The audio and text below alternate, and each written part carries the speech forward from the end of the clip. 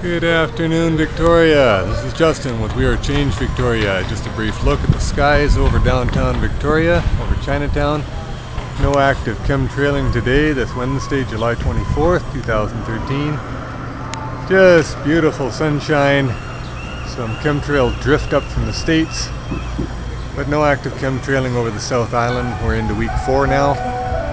So, now there goes the Chinese music from Chinatown. If anybody's got any ideas as to why they're not uh, spraying over us uh, for the last month, feel free to leave a comment, hypothesis, theory, whatever. But if you got an idea, let me know. Over downtown Victoria, for We Are Change Victoria, this is Justin. Have a nice day.